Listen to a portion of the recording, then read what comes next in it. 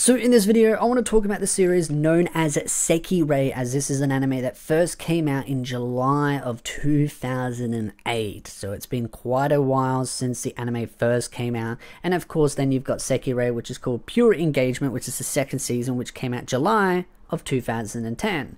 Both were single cours. One was the first one was 12 episodes, the second one was 13 episodes, and then of course you've got two additional special episodes. One came out 2009, March, and the other one came out August of 2010. Now, as far as this series goes, this is one of those where honestly in this modern day and age it would probably be one of those super controversial animes, which, hey, we get them all the time, so it's always fun to see them come out and see people absolutely lose their minds over animes like this. And this is a manga that is completely finished, done and dusted, packed up, it's all finished. But there is enough material for one more season, as I've got the mangas, I've read the mangas, and it is one of those where it's like, yeah, there is enough material for just one more season if you really want to squeeze it out.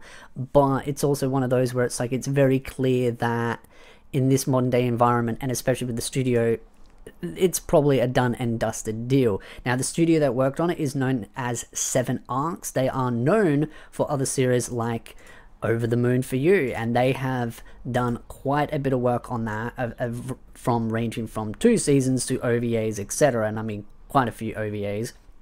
So it's one of those that the studio is known for working on multiple projects, but they they seem to have not had done as many projects after Sekirei, but then kind of picked up a little bit more as the years have gone on. So it does feel like they have grown in scale a little bit, but that's just my observation, especially when it comes to Over the Moon for You, they definitely have put a lot of bit of time and effort into.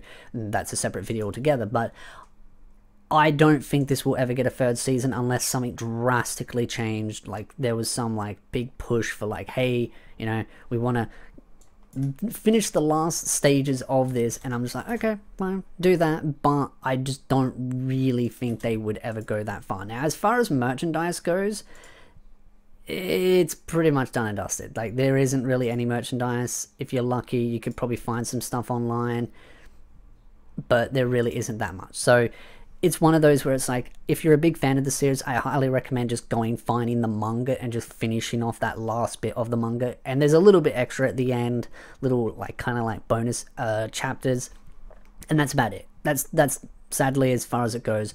If anything does change, anything major, I will definitely update the channel when we have more information, but it's just one of those where it's a closed book. I don't see this ever getting another season. I'd be severely, like, very shocked if it does get a third season, but it is what it is. So again, I'd love to know your thoughts in the comment section down below. Who are your favorite characters? What did you like about the series? And again, if you like this video, hit the like, subscribe, and I'll see you beautiful nerds in the next video.